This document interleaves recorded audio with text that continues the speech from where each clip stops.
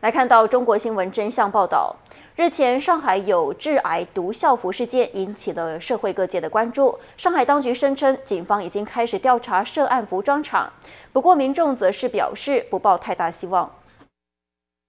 根据中共官媒新华社二月二十六号报道，上海警方已经对生产毒校服的上海欧霞时装公司正式立案调查，但是不少民众担心此事最终会不了了之。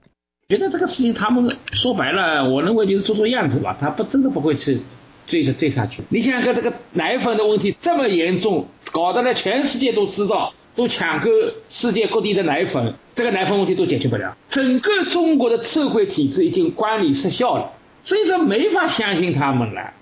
欧霞没有了，还有第二，还有第二个什么绿霞呀，利益驱使的。你说欧霞不做了，其他人还照样做。其实中国校服质量问题之前已经被多次曝光，只是没有引起有关当局的重视。哎，我老婆有个孩子嘛，我都是非常非常差的校服，不光出材料，做工非常非常粗糙，呃，就是回来就要就要给他补的了。反正总归是校服呢，哎，价钱嘛又高，质量嘛又差。一个学生又又又没办法的。现在连小孩子都会自己碰到毒校服而担心。那你们害不害怕自己穿的校服是毒校服呢？有一点。你你知道校服有毒的话，还敢穿吗？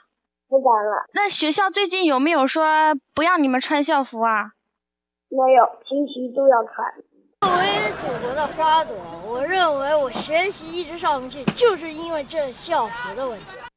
根据相关部门透露，欧霞公司已经连续三年被四次查出有质量问题，但是依然为上海四十一所学校供应校服，其背后的原因发人深思。新唐人记者张天宇兰竹采访报道。